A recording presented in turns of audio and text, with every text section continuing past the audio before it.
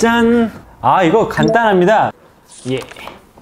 어, 마츠윈터님이 주셨는데요 강아지가 산책 나가서 배변이나 소변을 볼 때 저를 보는데 그럴 땐 반응을 어찌 해야 하나요?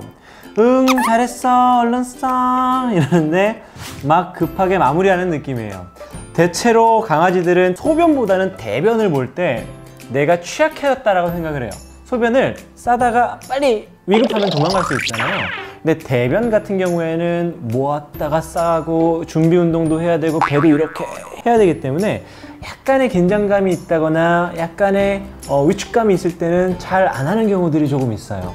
어쩌면은 우리 보호자님을 보면서 마음을 편안하게 하는 거일 수도 있고요.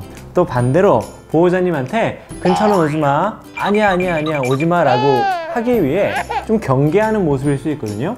만약에 저라면은 강아지가 이렇게 응가할 때 살짝 다른 데 보고 있을 것 같아요. 어 지켜주세요. 이 시간만은. 네 문제 해결